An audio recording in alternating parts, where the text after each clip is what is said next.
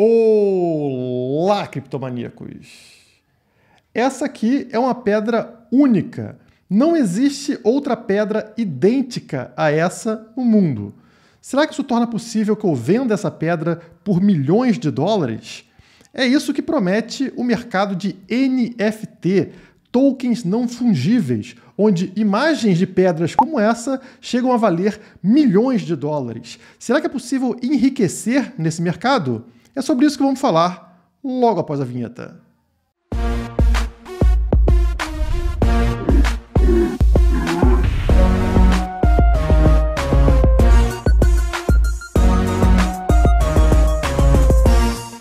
Todos que forem inscritos no canal da Criptomaníacos e apertarem o botão de like estarão concorrendo ao sorteio desta incrível pedra raríssima que eu peguei no meu jardim e que futuramente pode valer milhões. Pelo menos é o que promete esse novo mercado de NFTs. Então aperta o botão de like aí, não esquece.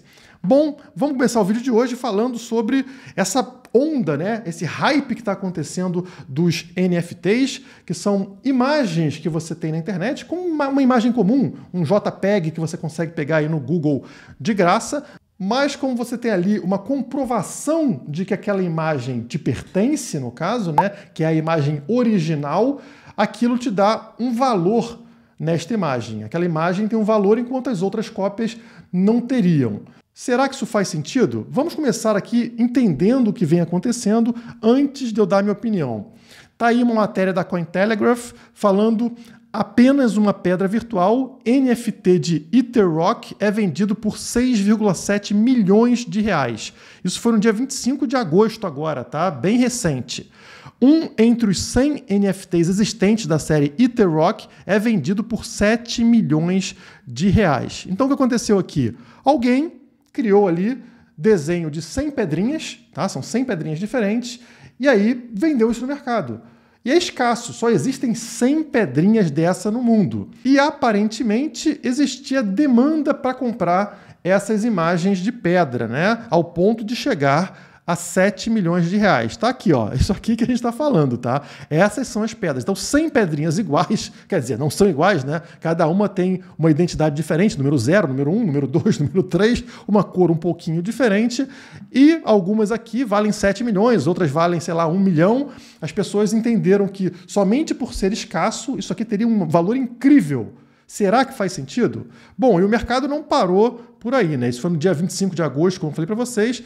Já passando aqui para o dia 27 de agosto, dois dias depois, plataforma de NFTs Artblocks bate recorde com venda de NFT por 5,8 milhões de dólares. Isso aqui dá 30 milhões de reais. Então, eram 7 milhões na pedra, agora tem 30 milhões num outro desenho. Qual foi o desenho? Tem aqui? Acho que tem um desenho. Ah, esse desenho aqui, é, eu não sei o que vocês acham. Me parece um, sei lá, um pato aqui, que, que não sei o que é isso aqui, mas enfim pagaram 30 milhões de reais e, claro, eu posso chegar aqui e fazer um download, né? Eu faço aqui, ó, copiar imagem. Pronto, eu tenho a mesma imagem. Mas eu não tenho lá na blockchain garantido que eu sou o dono do original. Mas será que isso vale 30 milhões de reais?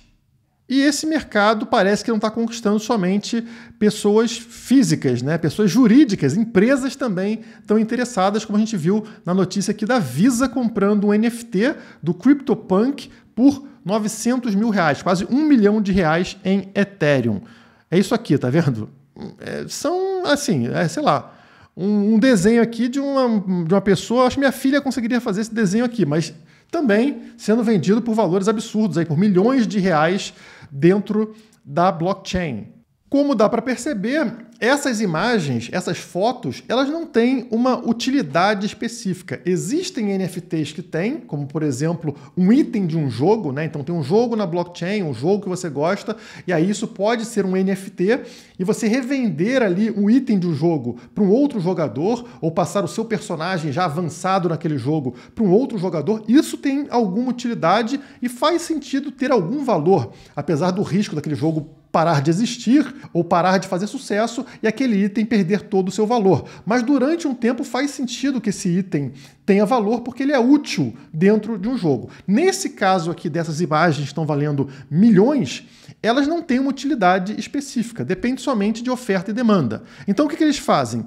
Eles oferecem aqui uma oferta limitada, muito limitada, né? Ah, são somente 100 pedras, são somente sei lá quantos CryptoPunks. E aí gera essa escassez e você precisa também ter uma demanda. Não adianta você ter uma oferta reduzida e não ter demanda para isso. Como eu falei, né? Eu posso fazer aqui somente esta pedra. Esta pedra não existe outra igual. Mas existe demanda por essa pedra? Não, não existe, né? Ninguém quer comprar essa pedra. Então não adianta somente você controlar a oferta, você também precisa de demanda. E será que existe demanda para sempre por estes itens? Né? Esses itens são itens que vão, vão ter demanda a longo prazo? É, esse é o questionamento desse efeito, né? Alguém que paga 30 milhões nesse item hoje, será que vai existir alguém querendo pagar 30 milhões nesse desenho de pedra no futuro?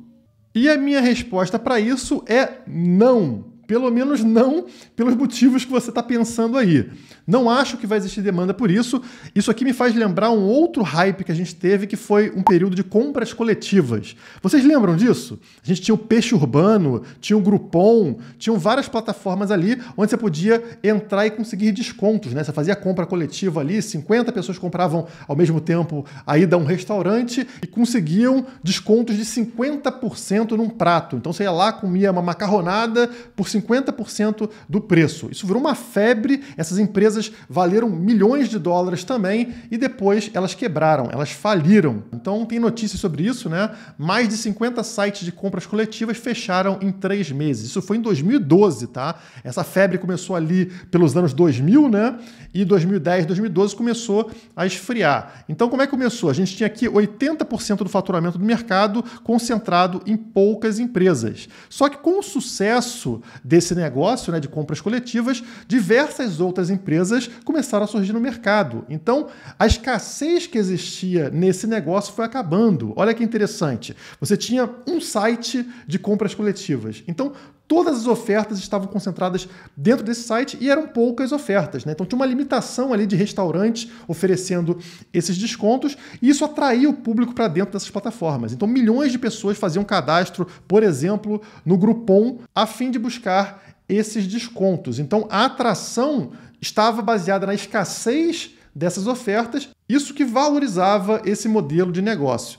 Na hora que surgiram 500 plataformas fazendo a mesma coisa e 500 mil restaurantes com o mesmo tipo de promoção, simplesmente esse modelo de negócio deixou de fazer sentido. Não existia mais a escassez. O modelo foi replicado, foi copiado. Então todo restaurante aceitava esse tipo de desconto, ou seja, não existia desconto. O próprio restaurante podia oferecer o desconto diretamente ou colocar em qualquer plataforma. E aí, por que a Groupon vai ter um valor de mercado alto? Não vai ter. Ela é igual a tantas outras plataformas. E o modelo começou a perder valor. Né? E aí, na sequência aqui, você vê Peixe Urbano e Groupon Brasil anunciam fusão. Ou seja, esse mercado começou a desabar, as empresas começaram a se fundir, né? reduzindo ali o tamanho do mercado e, na sequência, Fim polêmico do peixe urbano evidencia declínio das compras coletivas. Isso foi esse ano, né? maio de 2021.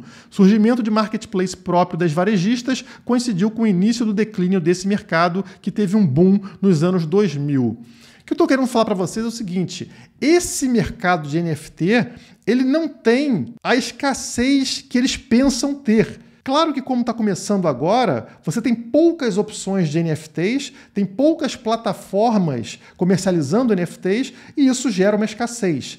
Mas o que acontece quando outras plataformas forem sendo criadas, né? não só na Ethereum, como na Solana, como na Cardano, todas elas oferecendo NFTs. Você pode ter pedrinhas dentro da Ethereum, pedrinhas dentro da Cardano, pedrinhas dentro da Solana, vários projetos iguais com imagens é, parecidas né? desse tipo de coisa. E o público é mesmo. A demanda é limitada, né? não tem tantas pessoas buscando por NFTs assim. Agora, as pessoas estão se dividindo em várias plataformas, em vários projetos aí de NFTs. O que, que vai acontecer? O valor que é pago hoje não vai ser mais o mesmo, porque existe muito mais oferta. Não existe escassez nesse mercado. O risco é muito alto de você entrar achando que vai ganhar muita grana para estar comprando uma imagem qualquer aí na internet que é um NFT e lá na frente você não vai encontrar demanda por isso e a oferta de NFTs vai ser milhares de vezes maiores do que é atualmente.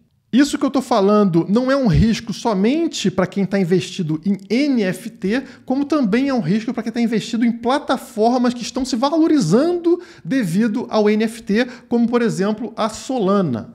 Solana salta mais de 200% em agosto e se torna a oitava maior criptomoeda do mundo. O que explica o otimismo? Claro que existem diversos fatores. A Solana é uma concorrente da Ethereum e também da Cardano, né? Existem várias concorrentes para a Ethereum, porque a gente sabe que é uma rede que teve vários problemas e continua apresentando problemas atualmente, né? De escalabilidade, de segurança. Então, as rivais tentam crescer no mercado. A Cardano ocupou aí a terceira colocação do mercado, né? Logo atrás da Ethereum. A Solana Solana já está na oitava colocação, mas o que está levando ela a essa supervalorização, que eles falam aqui de 6 mil por cento em 2021? Absurdo, né? Entre os fatores que a Infomoney traz, tem um aqui muito interessante com o que eu estou falando, né? O que explica a alta da Solana? A Solana tem se posicionado muito bem para atrair a febre dos tokens não fugíveis, NFTs. Há cerca de duas semanas, a rede entrou para esse mundo lançando a coleção Degenerate Ape Academy, que conta com 10 mil imagens exclusivas de macacos em desenho. Todas as obras foram vendidas em 10 minutos. Putz, 10 mil desenhos de macaco vendido em 10 minutos. O movimento por si só já fez a cotação do token Sol disparar, já que era preciso adquirir o ativo para dar lances nas NFTs. Mas se isso poderia se mostrar uma alta provisória, a correção ainda não veio e parece estar se sustentando. Prestem atenção nessa parte a cotação do token Sol, ou seja, da Solana, disparou porque as pessoas que queriam comprar NFTs precisavam adquirir o token. Então, existe uma ligação direta entre a alta da Solana e o mercado de NFTs. O que acontece no caso desse mercado afundar? A tendência é que o token da Solana também afunde.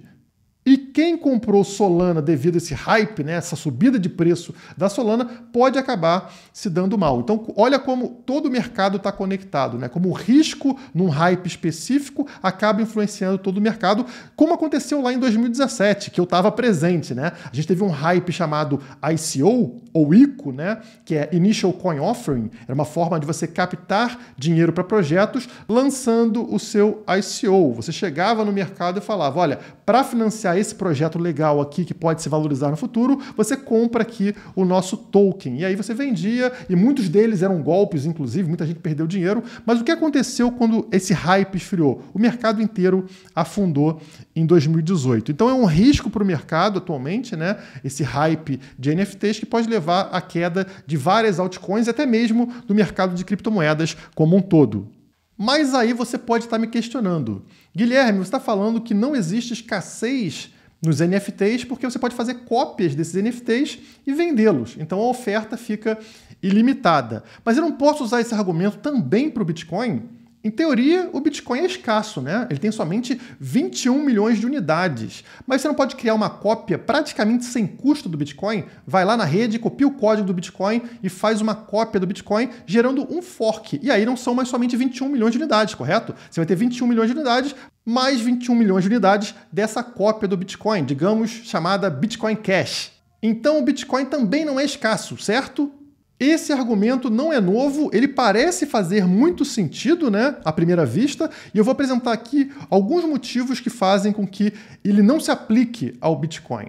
Primeiro ponto, o Bitcoin foi a primeira criptomoeda, ou melhor falando, a primeira criptomoeda a dar certo. E isso sempre terá valor. Provavelmente, o primeiro NFT criado na história também sempre terá valor, porque será um item de colecionador. Seja lá o que for, a primeira coisa criada de um mercado que teve sucesso sempre será valorizado. Ah, o primeiro carro da humanidade, pô, vai ter um valor imenso. O primeiro avião criado vai ter um valor imenso. O primeiro computador criado, gigante o valor. Mesma coisa aqui, o primeiro NFT vai ter um valor de colecionável e o Bitcoin também, somente por ser a primeira criptomoeda, também tem um valor, mesmo se não tivesse utilidade. Mas o Bitcoin tem uma utilidade e o valor do Bitcoin está ligado ao tamanho e segurança da sua rede, à sua enorme base de usuários e toda a infraestrutura que foi criada até esse momento para atender a esses usuários.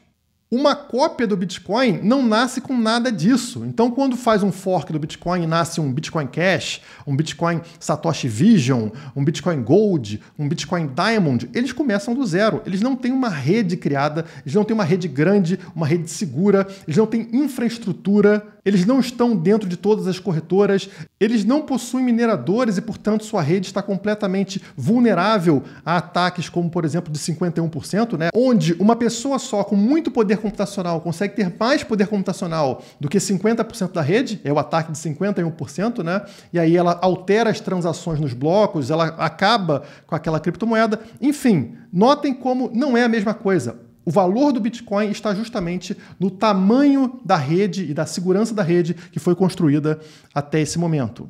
E isso não é uma opinião minha, isso é um fato. A gente verificou em 2017 a criação de centenas de cópias do Bitcoin, como as que eu citei nesse vídeo. E o que aconteceu com o Bitcoin? Nada. Essas moedinhas nasceram e afundaram na sequência, porque não conseguiram ter sucesso. O valor do Bitcoin não está em tecnologia superior. Ah, o Bitcoin Cash ele é mais rápido, ele é mais barato. Não interessa. Não é isso que importa. O que importa é a rede do Bitcoin. E o mais interessante disso é que esse valor do Bitcoin está conectado justamente à inflexibilidade dele de mudar o que ele é.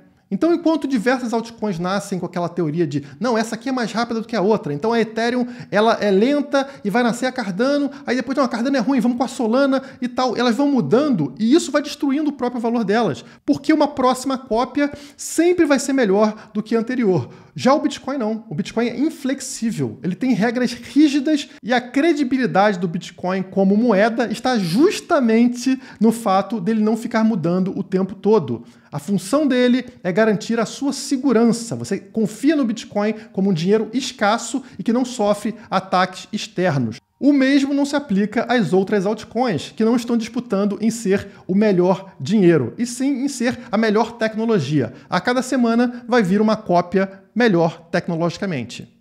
Outro ponto interessante é que as cópias, no caso do Bitcoin, elas aumentam o valor do Bitcoin, porque provam a cada vez mais a segurança do Bitcoin como moeda, a força do Bitcoin como moeda. Então, por exemplo, tem um fork e nasce o Bitcoin Cash. Pô, o Bitcoin Cash é o novo Bitcoin, é superior ao Bitcoin. Começa uma batalha, né? Algumas pessoas que estavam no Bitcoin começam a migrar para o Bitcoin Cash, fica durante algum tempo essa disputa no ar, e o que acontece? Essa nova cópia, como eu já expliquei para vocês, ela vai morrer. E isso prova para o mercado que o Bitcoin realmente é insuperável. Ele realmente é a moeda digital. E o que acontece com o preço do Bitcoin? Quando terminar essa batalha, ele vai estar tá acima do que estava antes, vai estar tá valorizado com relação ao que aconteceu antes do nascimento dessa cópia. Isso também desincentiva a criação de novas cópias. Então, em 2017, nós tivemos dezenas de hard forks, dezenas de cópias do Bitcoin, como eu falei, Bitcoin Cash, BSV, né? Bitcoin SV,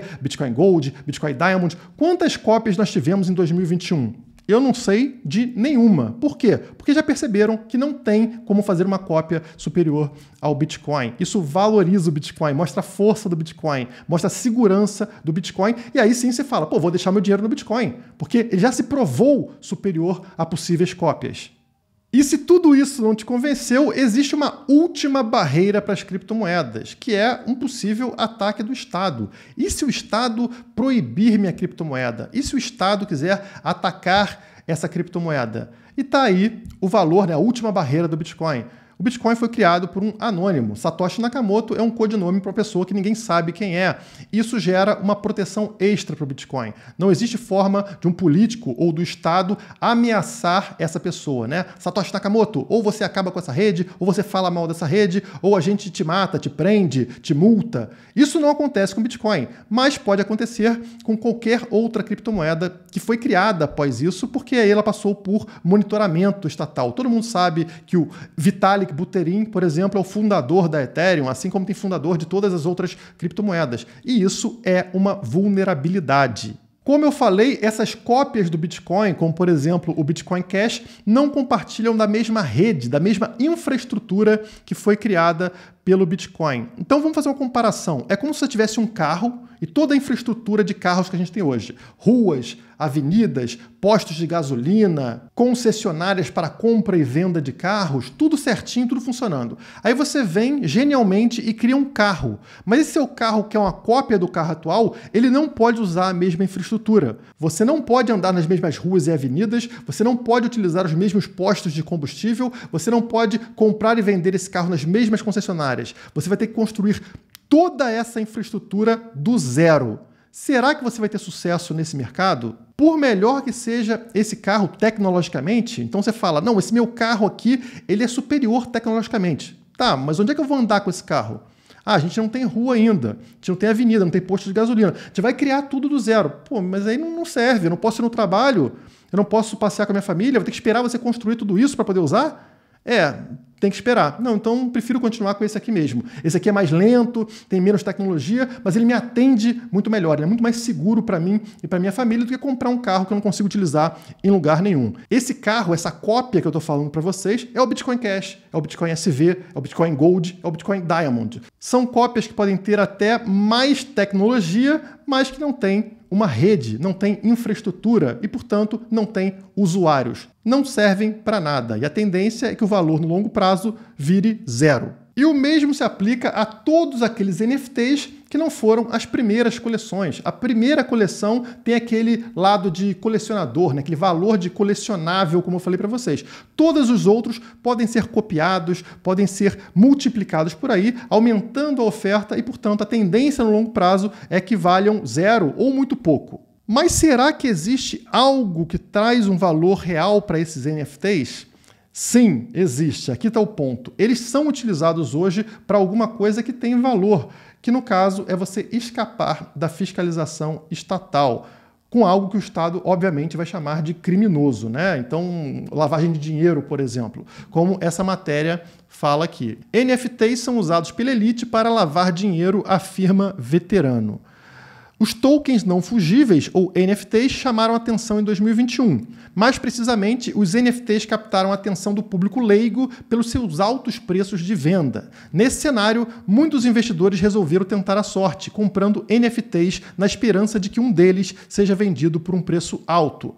Contudo, segundo o controverso analista conhecido como Mr. Whale, as chances são baixas. Para ele, por trás do cenário composto por ricaços entediados gastando dinheiro, existe um esquema de lavagem de dinheiro sinistro. E ele dá um exemplo aqui de como isso funcionaria, como lavar dinheiro com NFT, em um cenário hipotético envolvendo uma pessoa chamada Mark.